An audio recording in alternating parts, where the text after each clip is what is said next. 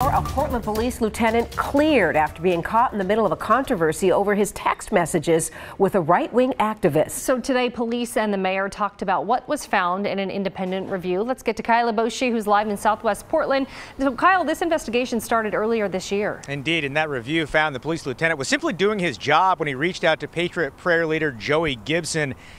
He was communicating and trying to get a little more information leading up to and during during protests. This afternoon, Portland's police chief and Portland's mayor detailed the findings of an independent review. They called for an investigation after the Willamette Week obtained text messages through a public records request showing Portland Police Lieutenant Jeff Niiya exchanged friendly messages with right-wing organizer Joey Gibson. The text messages raised questions about whether Portland police helped Gibson's group, Patriot Prayer, evade arrest during protests. The investigation found Lieutenant Niiya did nothing wrong.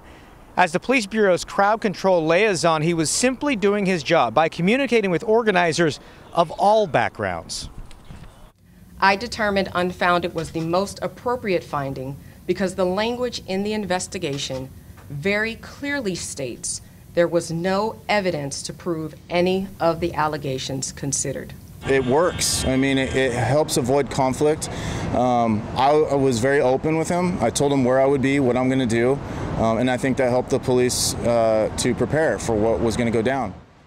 The audit did find Portland police needed to have formal training for crowd control liaisons and since added that training, which was put to use during a protest in August. In a statement, Lieutenant Niiya said he's pleased with the review and its findings. He said he's anxious to continue working at the police bureau. Back to you.